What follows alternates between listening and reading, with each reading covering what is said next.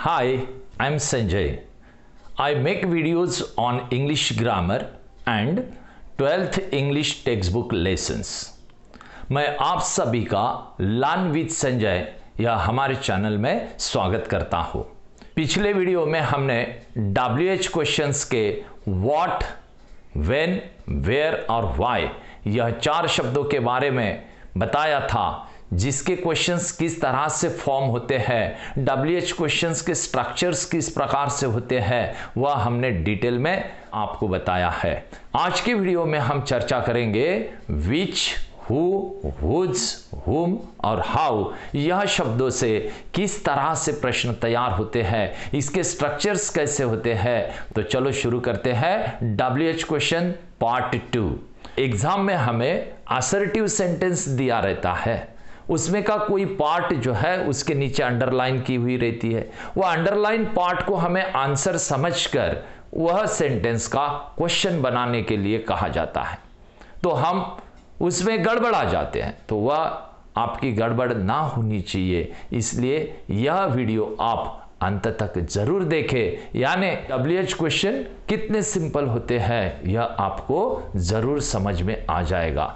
अगर आपने हमारे चैनल को सब्सक्राइब नहीं किया हो तो उसे सब्सक्राइब करें, यानी आपको आगे के वीडियोस के नोटिफिकेशन मिलते रहेंगे। डब्ल्यू एच क्वेश्चन तैयार करते समय I becomes you me becomes you my becomes your and mine becomes yours तो यह हर सेंटेंस को, हर क्वेश्चन को लागू होने वाली बात है, वह आपको ध्यान में रखना है। आपके स्क्रीन के ऊपर अभी दो क्वेश्चन है।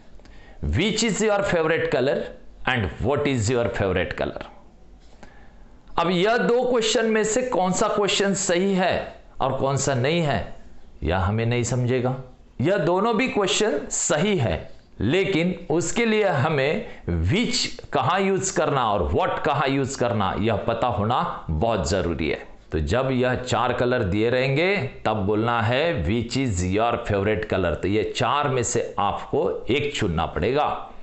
लेकिन अगर चॉइस ही दी नहीं है तो उस समय what is your favourite colour पूछकर आप ओपनली कौन सा भी आंसर दे सकते हो। तो यह थी सिंपल सी बात व्हाट और विच के डिफरेंस की। ऐसे बहुत सारे डिफरेंसेस हमें इंग्लिश में आगे पढ़ने हैं।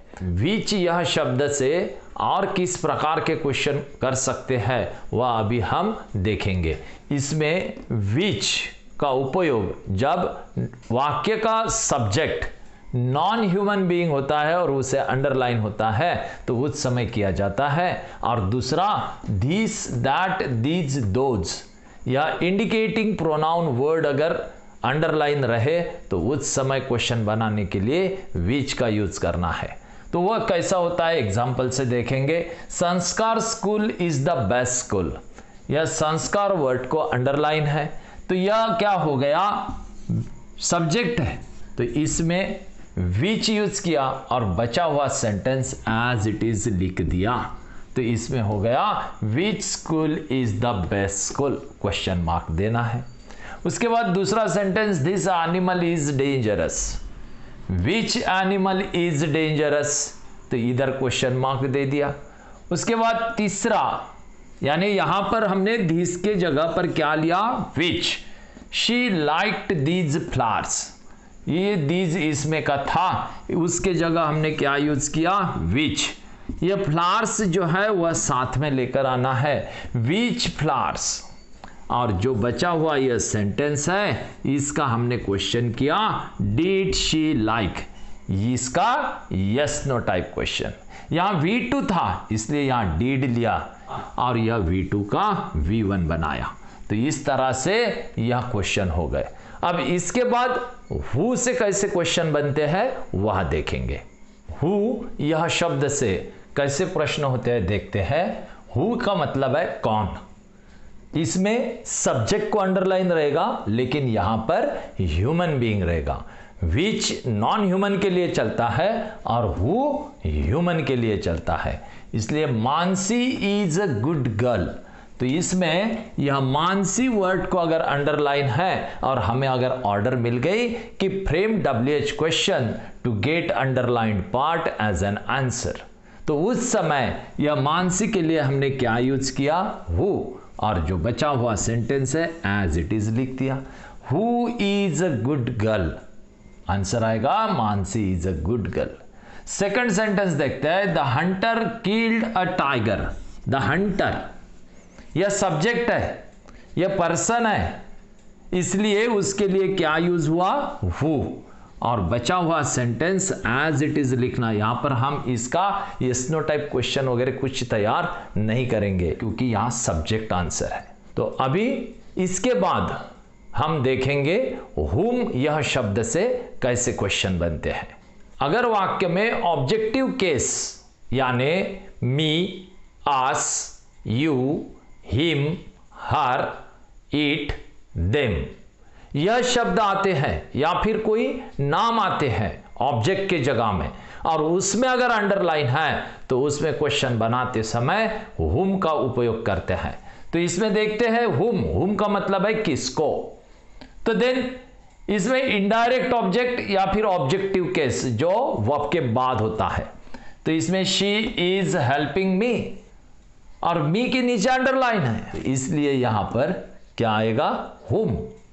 हुम और उसके बाद यह जो सेंटेंस है, इसका यस नो टाइप क्वेश्चन यह इज़ हमने सामने लाया। Is she helping whom is she helping ऐसा क्वेश्चन हुआ। लास्ट में क्वेश्चन मार्क लिख दिया। उसके बाद I saw Uday and Praful yesterday अभी यह जो ऑब्जेक्टिव केस थी, उसके जगह पर यह क्या आए? नाम। तो अभी इसको अंडरलाइन है यह आंसर समझना है। तो उसमें हुम उसके बाद यह V2 है। इसलिए यहाँ पर हमने डीड लिया और इसका V1 भी बना दिया। अगर वाक्य में आय आया तो उसका क्वेश्चन करते समय यू लेना है। यह भी हमने ये वीडियो के शुरू में आपको बताया है। होम डीड यू आय का क्या बना? You see yesterday question mark इस तरह से या होम से हम कब क्वेश्चन करेंगे? जब ऑब्जेक्टिव केस को अंडरलाइन रहेगा तब। अब इसके बाद सीखेंगे कि हुज यह डब्ल्यू एच वर्ड से कैसे क्वेश्चन होते हैं। हुज यह शब्द जब वाक्य में पॉजिटिव केसेस को अंडरलाइन किया हुआ रहता है, उस समय यूज़ होता है। तो इसमें पॉजिटिव केसेस यानी my our your his her its their या पॉजिटिव केसेस है प्रोनाउंस की। या कोई नाउन अगर रहता है तो उसको एपोस्ट्रोफी यस लगकर अगर आता है और उसको अगर अंडरलाइन होता है तो उस समय हमें हुज का यूज़ करना है। माई मदर इज़ हैप्पी यहाँ पर माई यह शब्द को क्या है? अंडरलाइन है। Whose mother is happy my के जगह क्या लिया? हुज और यह क्वेश्चन बना दिया। Then she likes our ideas our positive case है, इसलिए इसके जगह क्या लिया? हुज उसके बाद यह आइडियाज़ इधर लेकर आए। हुज आइडियाज़ और यहाँ पर यह लाइक्स है वी वन इसलिए यहाँ डज यूज़ किया और यह वर्ब इधर लिख दिया और यह लाइक्स का लाइक लिखा, क्योंकि यहाँ का यस इधर निकल गया। तो इस तरह से whose ideas does she like यहाँ सिंपल प्रेजेंट टेंस है। अगर यह आपको समझने में दिक्कत जारी है तो आप हमारा सिंपल प्रेजेंट टेंस का वीडियो देख लीजिए। आपके ये सारे प्रॉब्लम्स दूर हो जाएँगे, जिसका लिंक मैं आपको सजेशन बॉक्स में प्रोवाइड कर रहा हूँ। डब्ल्यू एच वर्ड के फैमिली में और एक शब्द है, लेकिन वह डब्ल्यू एच से शुरू नहीं होता। तो वह शब्द है हाउ जिसकी शुरुआत यच से होती है। हाउ का उपयोग क्वेश्चन बनाने के लिए कब होता है, वह अभी हम देखेंगे। जब वाक्य में एडवर्ब के नीचे अंडरलाइन होता है, या फिर जो एडजेक्टिव से क्वालिटी मालूम होती है, वह एडजेक्टिव के नीचे अगर अंडरलाइन रही तो हाउ से क्वेश्चन होते हैं। तो इसमें हम एग्ज़ाम्पल से देखेंगे हाउ का मीनिंग है कैसे। एडवर्ब और एडजेक्टिव जो क्वालिटीज से रिलेटेड है। और उसके बाद और एक है कि वाक्य में अगर एज इफ़ या एज दो यह दिया है और उसके नीचे अंडरलाइन है तो हमें हाउ से क्वेश्चन करना है। शी वॉक स्लोली यहाँ यलवाय वाला शब्द जनरली एडवर्ब होता है। तो शी वॉक्स हाउ तो स्लोली तो हाउ और यह शब्द का हमने यहाँ यस नो टाइप क्वेश्चन बनाया। हमने आपको डब्ल्यू एच क्वेश्चन का फॉर्मेशन यही बताया कि W H word plus yes no type question उसके बाद दूसरा the king was kind and generous kind and generous यह किंग की क्वालिटीज है, इसके नीचे अंडरलाइन है. अब जब इसके नीचे अंडरलाइन रहेगी तो उस समय आप क्या लोगे? हाउ और यह जो बचा हुआ सेंटेंस है, उसका yes no type question was या स्पेशल वर्ब होने की वजह से उसे हमने सामने लाया?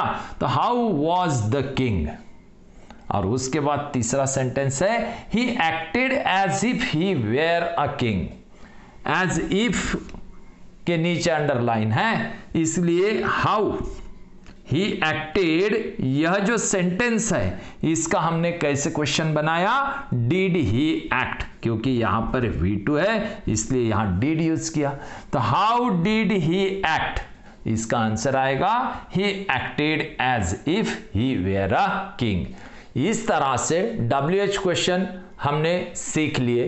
डब्ल्यू एच क्वेश्चन में दो बातें ध्यान में रखना ज़रूरी है कि जो डब्ल्यू एच वर्ड्स है, उनके मीनिंग मालूम रहना ज़रूरी है और उसके बाद डब्ल्यू एच वर्ड के साथ में यस नो टाइप क्वेश्चन आता है, वह दूसरी बात ध्यान में रखना है।